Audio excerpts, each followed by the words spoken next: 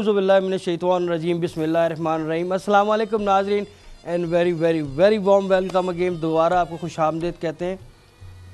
आज अल्हम्दुलिल्लाह सातवां रोज़ा मेरा ख्याल से हमारा शुरू हो चुका है।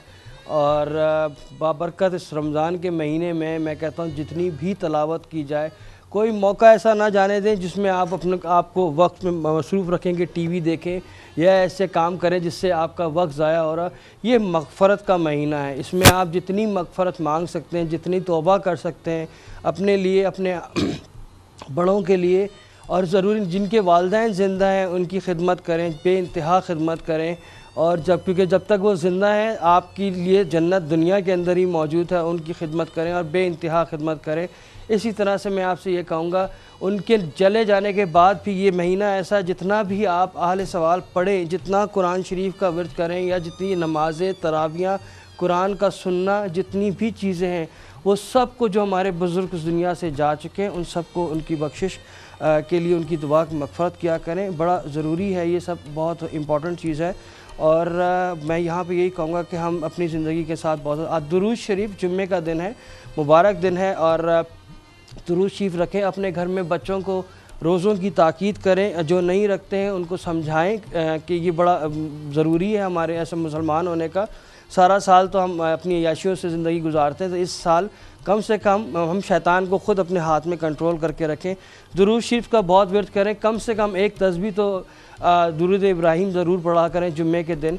इसी तरह से कहते हैं, जुम्मे की नमाज़ के बाद बड़ा अफजल है पढ़ना सुबहान अल्लाह वहमदी सुबहान अल्लाज़ीम इन वो भी मैं आपको बता तस्वीरें भी बताता रहूँगा। लेकिन साथ साथ आपने ये पहला अशरा चल रहा है इन जब तक आप पहले ये आई हुई कईम बरहमती का सग़ीत इसमें बेहिसाब पढ़ें और अपने दुआ करें अपने रिस्क के लिए, क्योंकि जहाँ इंसान की ज़िंदगी चल रही होती है, वहाँ रिस्क भी बहुत भाग रहा होता है। एक कहते हैं कि रिस्क और एक मौत, इसका कोई पता नहीं कि किस वक्त आपको मिल जाए। तो ये बहुत ही इंपॉर्टेंट चीज़ है कि आप अपनी ज़िंदगी के अंदर वो खुशियाँ पाने के लिए अल्लाह के आगे झुकें और सजदे में जाके अपने रब से दुआ मांगें। इससे प्यारा, मुबारक महीना हमें नहीं मिल सकता है। नाजिन बातें तो हम करते रहेंगे और चीज़ें भी बनानी है, वो भी ज़रूरी है।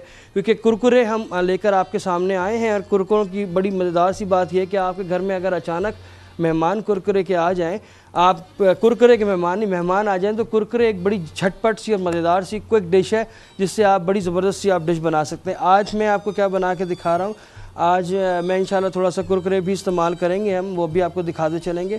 बड़ी मज़ेदार सी अगेन स्नैक्स टाइप के ही आइटम बना रहा हूँ जो आपके दस्तरखान पर रहें और इन्जॉय करें। एक रिफ़्रेशिंग सा रोल आपको बना के दिखाऊँगा अगेन आज मैं। और वो बनेगा इन ताला मैंगो और सब्ज़ियों के साथ। उसके अंदर मैंने कुछ मीठा और कुछ सब्ज़ियाँ मज़ेदार सी ऐड की हैं। वो आप बनाएँ। बड़ा न्यूट्रिशन है उसके अंदर बहुत गजाइत से भरपूर वो दोनों चीज़ें हैं मेरे पास। बादाम का शरबत, वो मैं आपको इन दिखाता चलूँगा। मैंगो के लिए मेरे पास जैसे यहाँ पे आम पड़ा हुआ है। आ, मैंने किप क्रीम जो है विप करके रखी है। चीज़ है। बहुत हेल्दी है मतलब आप इंजॉय करेंगे बच्चे भी खाएँगे शौक़ से। दो तरह के पेपर्स हैं साथ में मेरे पास थोड़ी सी कैरेट्स होगी ऑनियंस होंगी ग्रीन ऑनियंस और इनको हम इशारा बाइंड अप करके बनाएँगे। कोई सीजनिंग नहीं है सिंपल सॉफ्ट हल्की सी वेजिटेबल इसमें लेयर आउट करनी है, एम आम चीज़ क्रीम ये बड़ा मज़ेदार सा आपको मैंगो का रोल बना के दिखाऊँगा। और आलू और शक्करकंदी की मैं चाट बना रहा हूँ, ये भी बड़ी मज़ेदार सी स्पाइसी सी है, इसमें इंशाल्लाह हम कुरकुरों का इस्तेमाल करेंगे। और अगेन बादाम का शरबत, बादाम, आपको पता है कितना इंपॉर्टेंट है बादाम, किसी भी तरह का, सुबह में कहते हैं कि सात बादाम अगर आप रात में भिगो के रखें और सुबह अगर ये बादामों का इस्तेमाल करें, इसका जो रोगन होता है वो आपके दिमाग को तरोताज़ा करता है और रिफ़्रेश करता है। और बूटअप आपकी ब्रेन पावर को बढ़ाता है। तो यहाँ पे बस मैं यही कहूँगा कि जो चीज़ें मैं यूज़ कर रहा हूँ, वो ये सोच के यूज़ कर रहा हूँ कि आपके लिए फ़ायदा पहुँचाए और आपको इस रोज़ों के अंदर वो तोानाई भी दे खाने के बाद, ताकि आपके जिसम के अंदर जो सारा दिन में आपने अल्लाह के नाम पे जो रोज़ा रखा है और उसको बर्दाश्त किया है, बहुत बड़ी बात होती है। और नीयत कहते हैं, अगर अच्छी रखो तो कभी भी रोज़ा लगेगा भी नहीं। और अल्लाह का शुक्र है एक चीज़ मैं आप लोगों से और शेयर करूँ बड़ी इंपॉर्टेंट चीज़ है। मैंने अक्सर लोगों को देखा है लोग डाउन हो रहे होते हैं और आ, मतलब उनसे आ, नहीं होता है कि रोज़ा एंड टाइम के ऊपर। एक चीज़ मैं आपको बता रहा हूँ एज अ शेफ़ और मैं इंशाल्लाह प्रोग्राम के एंड में भी आपको इस चीज़ का ज़िक्र करता चलूँगा। दही का इस्तेमाल लाजिम करें। दही से एक तो ये तो आपका निज़ाम हाजमा बहुत बेहतर रहता है। और साथ में खजूरें, दो खजूरें अगर आप सुबह शहरी के टाइम पे खा लें, आपको सारा दिन की तोानाई वो बरकरार रखेगी। बड़ी ताकत है। आप हजूर वसल्लम का सबसे बड़ा निवाला यही होता था, खजूर। उनके तो आपको पता है, खजूर, वैसे अरब लोग बहुत खाते थे खजूर में बहुत तासीर है, ताकत है। और आपको ज़िंदा रख सकते हैं। यहाँ पर हम शुरू करते हैं बिस्मिल्लाह करते हैं चाट बनाने के लिए क्योंकि रोल तो हम बना लेंगे। यहाँ पर शक्करकंदी और आलू को मैंने उबाल के रखा हुआ है। ये मैं आपको क्या करता हूँ बॉल में हम काट डालना शुरू करते हैं काट के और इसको काटना शुरू करेंगे। फिर इसमें स्पाइसेस हम मिला देंगे साथ में और फटाफट आपकी आ, मेरे पास रेडी हो जाएगा। तो इन ये भी आपके सामने लेके चलते हैं। एनी यहाँ पर जो लोग कॉल करना चाहें वो कॉल कर सकते हैं हमें। और जो कुरकुरे का असल मकई से बना एक फैमिली स्नैक है जिसके जिसे तमाम घर के अफराद बेहद पसंद करते हैं तो इसका भी रखें और कॉलर मौजूद है कॉलर से ही बात करते हैं। जी अस्सलाम वालेकुम वालेकुम अस्सलाम। नदीम भाई आपका शो बहुत अच्छा लगता है हमें। थैंक यू कौन साहिबा बात कर रही हैं बेटा? कहाँ से बात कर रही हैं? मुझे मलाई टिक्का बनाना सिखा दें। अच्छा ठीक है जी। आप मुझे नाम बताइए कहाँ से बात कर रही हैं आप? मैं मैं नाजमाबाद से असमा बात कर रही हूँ असमा मकान। नाजमाबाद से? असमा। असमा नाजमाबाद से बात कर रही हैं तो कराची से बात कर रही हैं ना आप फिर? जी जी जी जी। ठीक ठीक असमा ठीक है इंशाल्लाह आपको मलाई बोटी फरमाइश ज़रूर पूरी कीजिएगा। इंशाल्लाह ताला अल्लाह ने चाहे ज़रूर आपकी फरमाइश पूरी करूँगा ठीक है असमा अल्लाह हाफिज़ बहुत शुक्रिया आपकी कॉल करने का। और यहाँ पर आपके सामने आलू हमने अच्छी तरह से उबाल लिए और आलू को हम काट के क्यूब्स में काट लें जैसा आपको बेहतर समझें आप उस तरह से काट लें। और कुछ थोड़ा सा आवाज़ में मेरी फ़र्क आ रहा होगा। थोड़ा सा हल्का सा ऐसा लग रहा है जैसे फ्लू क्योंकि कल मौसम ऐसा हो रहा था कि ठंडा और गर्म मौसम रहा है कल सुबह ही सुबह और हम लोगों की आदत इतनी ख़राब है कि एसी का, कभी एसी बंद करते हैं, कभी खोलते हैं। उसी चक्कर में मेरा ख्याल से ये ये मज़ेदार सा जो है मेहमान मेरे साथ चिपक गया। है नहीं यहाँ पे नाजरीन, आपके सामने ये हम चाट के लिए तकरीबन तीन से चार आलू ले लें। आलू को अच्छी तरह से बॉईल करें विद स्किन नमक डाल के इसको आपने बॉईल करना है और इन ताला जब आपका बॉइल्ड हो जाएगा, तरीका उसका वही होता है कि सेंटर जो स्प्रेकेट नाइफ़ और किसी भी तरह की कोई भी चीज़, आप जब इजीली अगर आपको ये अंदर चली जाती है नाइफ़ आपको अंदाज़ा हो जाएगा कि आलू पक गया है। और बीच से अगर कच्चा है तो उसको मज़ीद और पकाएँ, नहीं तो आपकी डिश पूरी ख़राब हो जाती है अगर आलू सही ना हो। ठीक है, और ये मज़ेदार सा भी आपके सामने बना रहा हूँ। बड़ा क्विक सी रेसिपी है, और ये चीज़ अगर आप पहले से बना के रखें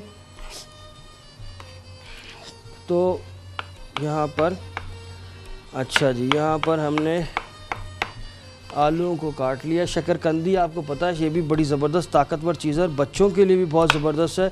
इसका इस्तेमाल ज़रूर किया करें घर में, क्योंकि हम लोग सिर्फ़ आलू लाते हैं शक्करकंदी से बहुत सारी डिशें बनती हैं। थोड़ी सी मीठी होती है आ, लेकिन इसको आप स्नैक के तौर के ऊपर जो है आप डिफरेंट तरीके से इस्तेमाल कर सकते हैं। इसकी चाट चने के साथ बना कर खाएँ बहुत मज़े की लगती है। इसमें फ्रूट डाल के खाएँ बहुत मज़े की लगती है। Any so on and on बहुत सारी चीज़ें ऐसी हैं जो इन आपको प्रोग्राम के बीच में भी हम दिखाते रहेंगे आपको बताते रहेंगे। और अब हमसे सीखते रहिएगा इन और कॉलर एक और मौजूद है कॉलर से ही बात करते हैं। जी अस्सलाम वालेकुम वालेकुम सलाम। कौन साहबा बात कर रही हैं? कहाँ से बात कर रही हैं? जी।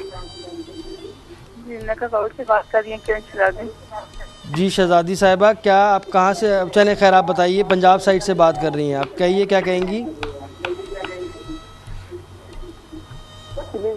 जी कहिए। क्या चीज़ बाजी? जलेबी। जलेबी? अच्छा चले जलेबी की पूरी कोशिश करूँगा आपको जलेबी सिखा दूँ लेकिन आपने टीवी का वॉल्यूम बहुत ज़्यादा खोला हुआ है। आपकी आवाज़ मुझे सही तरह से आ नहीं पा रही थी। आपकी फरमाइश ले लेते हैं इन ताला और पूरी करके भी कोशिश करेंगे, जल्द से जल्द आपको पूरी कर दें, ठीक है? अच्छा नाजिन बहुत शुक्रिया आपके कॉल करने का और साथ ही हम क्या कर रहे हैं, ये अभी मैंने सिर्फ़ कटिंग की है। शक्करकंदी और आलू की सैलड मेरे पास है और इन ताला मैं अभी इसकी सिर्फ़ कटिंग कर रहा हूँ, लेकिन यहाँ पे मैं क्या करूँगा, तीन से चार आलू ले लें, छोटे साइज़ के, दो तीन जो है बड़ी शक्करकंदियाँ ले लें। ठीक है, अच्छी तरह से उसको फुली बॉइल्ड कर लें और इसके बाद उसको क्यूब्स काट के हमने इसमें डाल दिया है। अब हम क्या करेंगे, ये पूरी काटने के बाद, ये पूरी काटने के बाद इसके अंदर मैं डालूँगा तकरीबन चटनी वाला कुरकुरे का एक पैकेट। हाफ़ हम डालेंगे इसके अंदर और क्योंकि इसकी जो मिक्सिंग होगी उसके अंदर मैं ऐड करूँगा और हाफ़ मैं इसको इन ताला आपको थोड़ा सा गार्ड गार्निश के तौर पे जो है हम आपके सामने रखेंगे। तो यहाँ पर हमने कुरकुरे से आपने लिया पैकेट को इस तरह से आपने काट लिया। एंड uh, हम क्या करेंगे बड़े साइज़ में होते हैं। So you just just just आपने क्या करना है इसको just make a small pieces with your hands जो बाइटेबल साइज़ जिस साइज़ के हमने अपने यहाँ पे वो काटे हैं उसी साइड के आपने क्रंची ताकि इसका मज़ेदार सा जो uh, हमारे पास जो है चटनी चस्का ये इन ताला आप इंजॉय करेंगे। लेकिन ये आपके सामने मैंने इस तरह से ब्रेक करके डाला है। और बहुत ज़्यादा चूरा नहीं कीजिएगा इसको ठीक है? चूरा नहीं कीजिएगा। मज़ा ख़राब हो जाएगा। थोड़ा सा क्रंची आना चाहिए। जब आप खाएँ सैलड के साथ तो आपको मज़ा आना चाहिए। अच्छा नाजीन ये मैं कुरकरे इसके अंदर ऐड कर रहा हूँ। बाकी के इंग्रेडिएंट्स, इंशाल्लाह, जब वापस आऊँगा तो मैं ऐड करूँगा, लेकिन यहाँ पर मैं लूँगा एक छोटा सा ब्रेक। कहीं नहीं जाएगा, मेरे साथ साथ रहें, देखते रहें रमज़ान मज़ा with chef Nadeem. Will see after short break